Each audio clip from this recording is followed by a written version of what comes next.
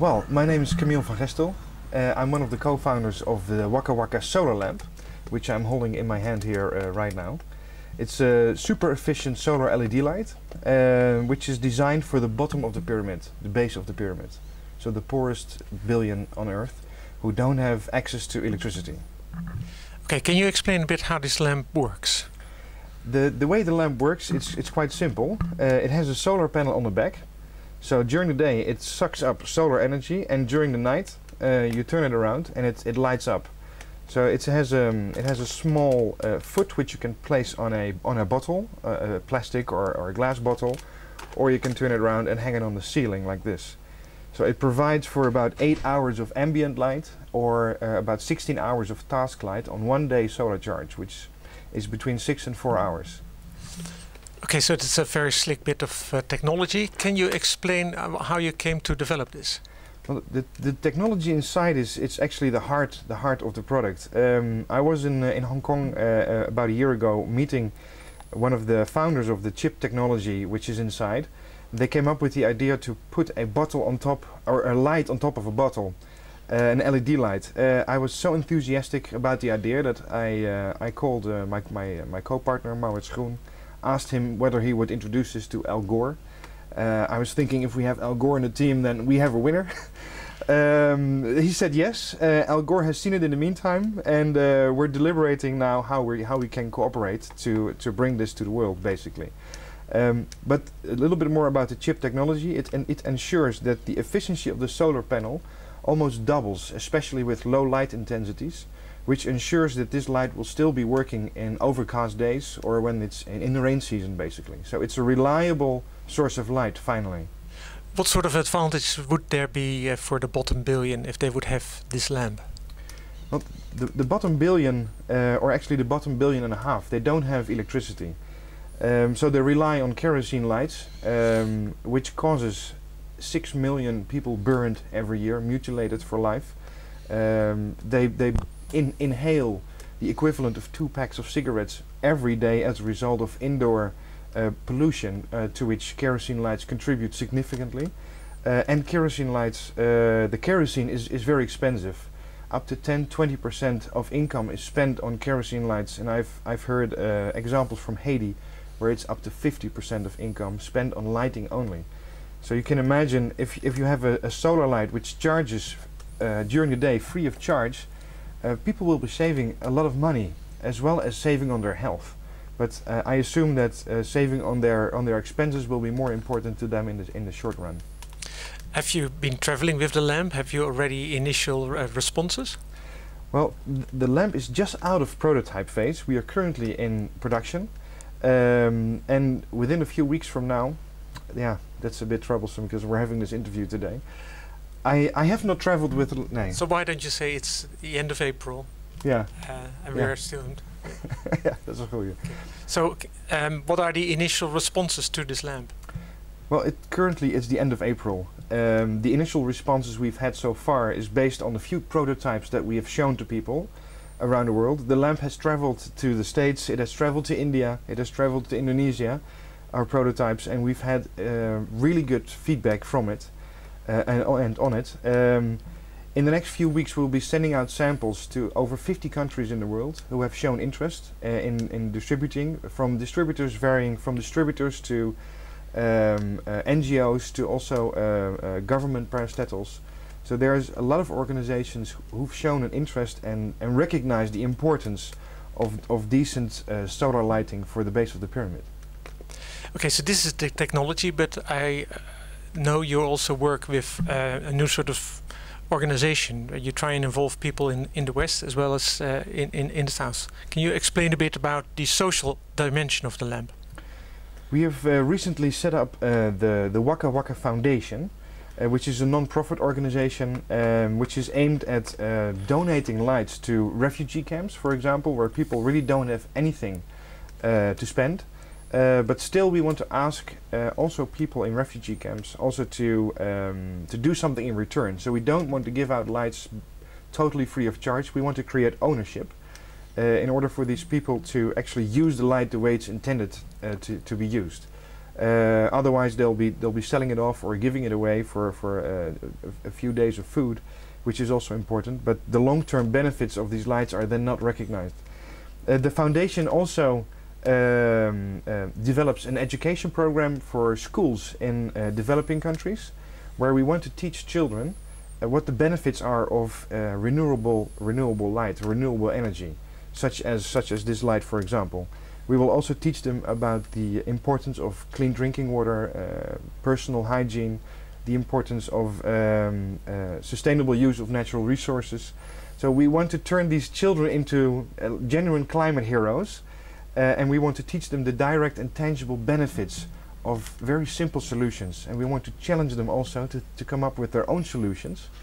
Uh, and if we can pull it off, then we want to organize uh, c- competitions in these countries uh, together with NGOs, local government, and enterprises, where we want to actually implement the best ideas created by these children. It's, it's been inspired by a Dutch program uh, from Maurits Groen, actually, uh, but we want to copy and paste this to developing countries. Okay, so how do you would you respond to the uh, suggestion that it's an invention from the north uh, for problems of other people? Well, I, I believe that also people who have very little to share, they, they deserve the best the West has to offer, uh, basically. So th- they, they really deserve uh, the, the best quality that we can provide for a rock bottom price for the bottom of the pyramid. Um, on, on top of this, uh, also people uh, who live in Africa and India and Indonesia, they also would like to have an iPhone or a laptop computer, but they cannot afford this. So um, what we've tried to do is is basically design an iPhone-like uh, solar light. We would I, I would like to say that that this light has the aspiration to be the the the iPhone uh, among uh, solar lamps. So and we we sincerely hope that people appreciate the way we have designed this with uh, with the the, the high tech technology which is inside. Uh, and uh, there is a concern always that things break and then that there is no maintenance. What what is the idea in Waka Waka? Well, there there are a lot of uh, low-cost solutions on the market already. Uh, solar lamps have been around for several years.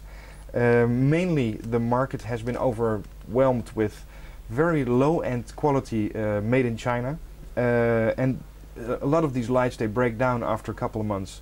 Batteries which don't last more than a year.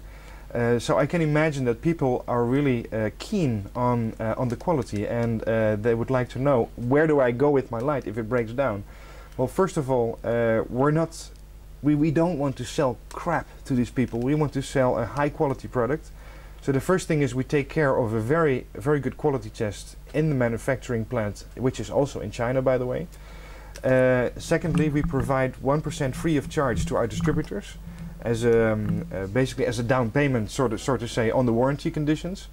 Uh, so if people, if their lights break down, they can simply replace it.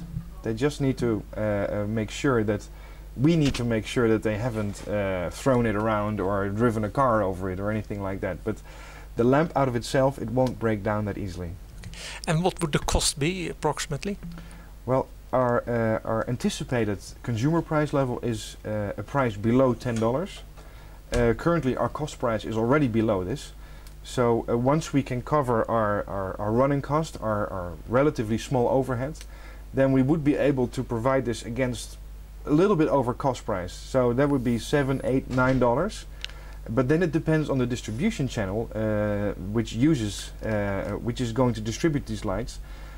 That is what determines the end user price. So we're trying to work with uh, companies such as Coca-Cola, Unilever, uh, large fast moving consumer good companies which already have the distribution network to these rural areas um, uh, which will enable us to provide this light really for the best price possible. Okay. Um, so far you haven't used the word government at all. I have not used the word government at all. No, that is correct. uh, we, uh, we, we would like to uh, be flexible. Uh, we need to move fast with this we don't want to be dependent on government subsidies. We need to be self-sustained. Um, we would, of course, appreciate government support. And we are talking to various government uh, departments for, for support, but we cannot wait for that. Uh, these people have a very urgent need, and something needs to be done now. And uh, we feel if we keep our organization lean and mean, uh, without being dependent on too many third parties, uh, we can realize our dreams. Where does all the uh, energy come from? All the energy comes from the sun. But the energy in this in this project, how is your social energy organized? The social energy. Uh, well, first of all, Let, let me rephrase. Yeah, let me yeah. rephrase. Um, so there's there's quite a bit of publicity around this lamp. How do you explain the uh, in- incredible amount of social energy around this lamp? We've had quite a lot of uh, publicity ar- around the, the Waka Waka lamp. Um, I, th- I think people recognize that there is a significant problem, uh, but we, what we have done in order to get started with our company, um, we started a crowdfunding campaign on internet, uh, two different websites, one in the United States, Kickstarter, and one in the Netherlands, where we were selling uh, a small part of the company. And we raised about $150,000 within two months.